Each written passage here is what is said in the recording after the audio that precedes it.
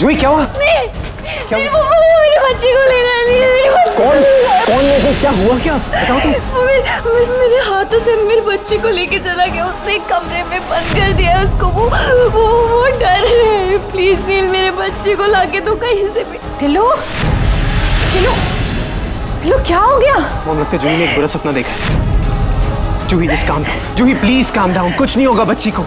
सब कुछ ठीक हो जाएगा। तुम नहीं जानते उसको वो बच्चों से बहुत नफरत करता है। डोंट वरी जूही मैं कुछ नहीं होने दूँगा हमारे।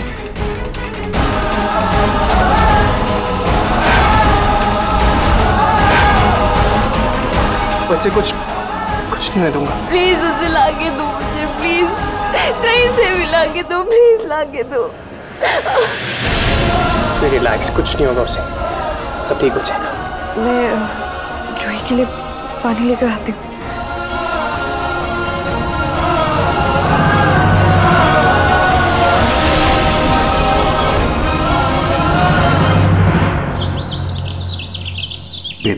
चिंता ना करो। वो अवनी और नील से मैं बात करूँगा देखना सब ठीक हो जाएगा। पर हाँ वो जूही को लेके जो काउंसलर वाली बात थी ना वो बिल्कुल ठीक है। जूही को काउंसलर की ज़रूरत पड़ेगी। मुझे लगता है काउंसलर से ज़्यादा ना मुझे मेरे रब की ज़रूरत पड़ेगी। हे रब्बा सब ठीक करे। सब ठीक हो जाएगा बेबे हाँ।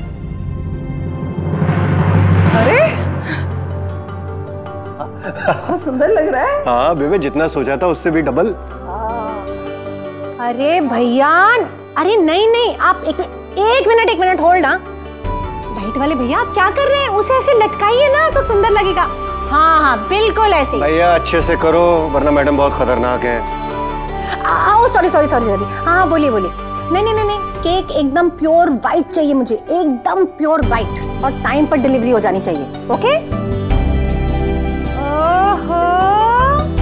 happy wedding anniversary you two beautiful couple Tillu शादी की सालगिरह मुबारक हो अभी तुम्हें भी मुबारक हो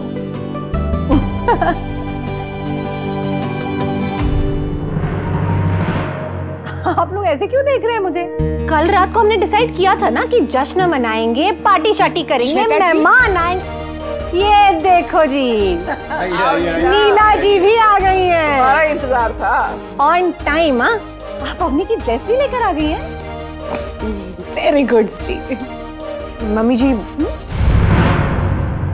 ऐसे माहौल में ये सेलिब्रेशन करना आई I मीन mean, सही लगेगा।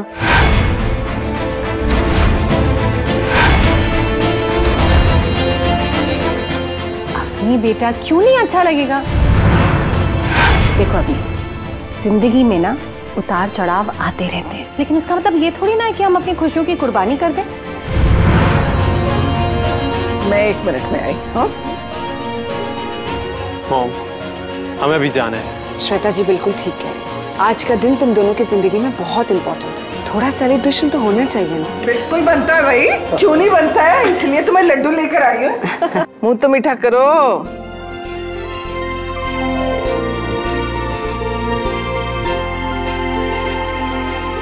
करे, तुम्हें हमेशा खुशियाँ मिले।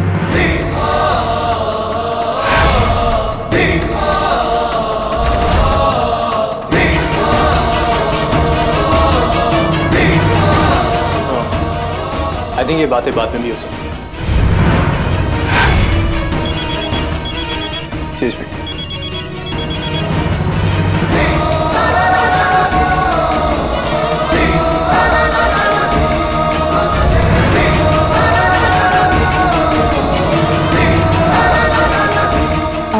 जाएँगे ना? हाँ हम हम जा रहे हैं। तुम तुम जल्द से रेडी होके बाहर आ जाओ हम्म? चलो। माँ मैं जानती हूँ तुम क्या कहना चाहती पर इस बार मैं तुम्हारी नहीं सुनूँगी। हम सबने तय किया है ना? तो ये पार्टी होगी बस। एक बार आप मेरी बात तो सुन लो। मैं नहीं सुनने वाली किसी की कोई बात। अभी हमें देर हो रही है। आई थिंक हमें बाहर कार तक चलना चाहिए। कार रेडी है। जो ही बाद में आ जाएगी। कुछ है जो मुझे तुमसे डिस्कस करना है? आगे की प्लानिंग चले। जा, जल्दी जाओ और जल्दी वापस आओ। लो भाई अब तो मुँह मीठा कर ही लो। हम्म।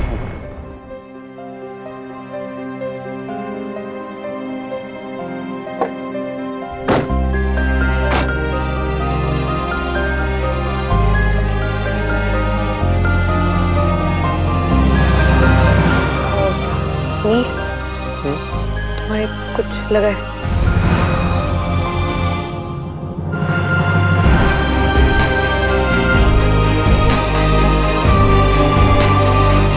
Avni I know you worried तुम तुम्हें बहुत फ़िक्र है।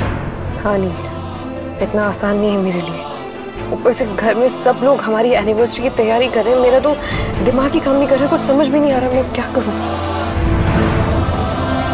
अपने सारे घर वाले इतने खुश थे कि उन्हें कुछ कहने का मन ही नहीं किया।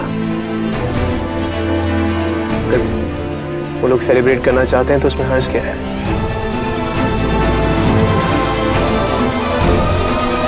तुम भी यही चाहते हो? मैं भी यही चाहता हूँ। आई थिंक हमें चौल चलना चाहिए। डीडीओ टीम वेट कर रही होगी।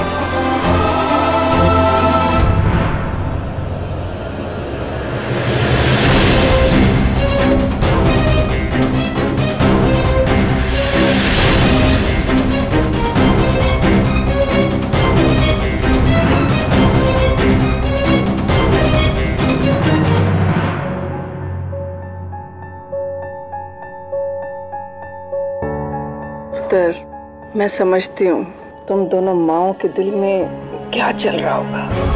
पर चिंता करने से कुछ होगा नहीं ना? कुछ नहीं बदलेगा।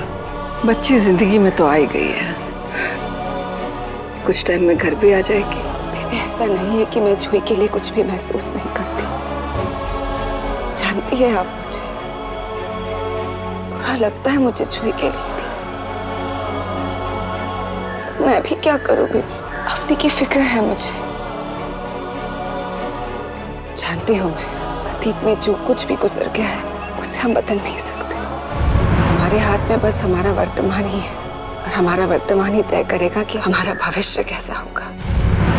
ये भी जानती हूँ, बेबी, कि हम सबकी भलाई इसी में है कि हम अतीत को और वर्तमान को एक्सेप्ट कर लें। बेबी, सच को स्वीकार करने में थोड़ा सा वक्त तो लगता ही है ना